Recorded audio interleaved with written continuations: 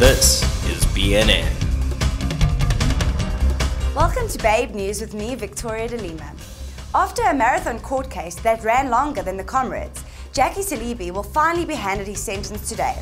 The minimum sentence is 15 years for corruption, and we think the whole country wants to see justice served.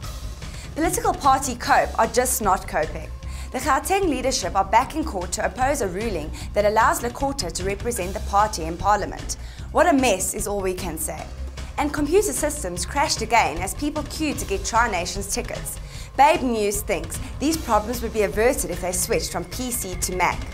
Download the hilarious viral video, Sex, Boobs and Beer, in the download section and invite your friends to visit Babe News. Have a great day.